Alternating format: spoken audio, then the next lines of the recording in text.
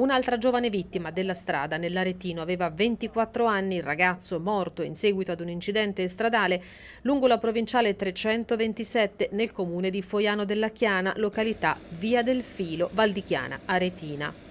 Si è trattato dello scontro frontale tra due auto, un'utilitaria e un SUV.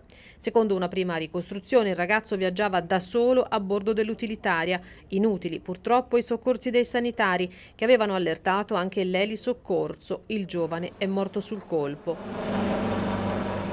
Ferite le due donne che viaggiavano a bordo dell'altra auto, una 75enne e una 51enne, trasportate in codice giallo all'ospedale San Donato di Arezzo. Sul posto i vigili del fuoco, un'ambulanza infermierizzata della Misericordia di Monte San Savino e un'altra della Misericordia di Castiglion Fiorentino e un'ambulanza dell'Avis di Foiano. Firenze, la provincia di Arezzo è stata quella con il maggior numero di morti sulle strade nel 2022, secondo il report pubblicato ed elaborato da ACI ed Istat. Le vittime nell'Aretino sono state 30.